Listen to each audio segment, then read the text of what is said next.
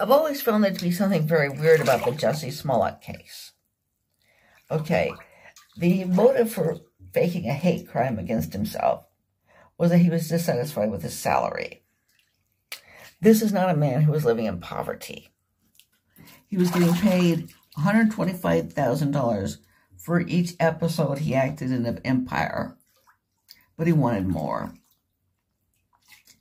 Now, he gets paid, you know, an astronomical by the standards of the average person and of poor people. What he gets paid is astronomically high. Yet he wants more. Now, of course, if you want more, I guess it's human nature to always want more. But um, another problem here is that he wanted to make a martyr out of himself um, to, I guess, the LGBT community and to the African American community.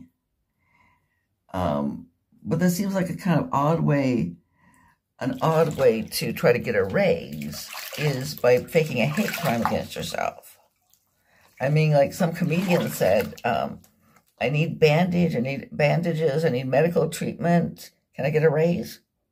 I mean, does it make very much sense? Okay. Um, the fact that he um, wanted a raise when he makes $125,000 per episode shows how greedy a lot of people can be. And the um, fact that he tried to get a raise in such a stupid manner shows how stupid a lot of people can be. Nevertheless, I um, don't wish anything more bad on Jussie Smollett. He's out of jail now, and I hope he gets his act together and, uh, you know, doesn't uh, fake any more hate crimes or do anything else to get himself in trouble.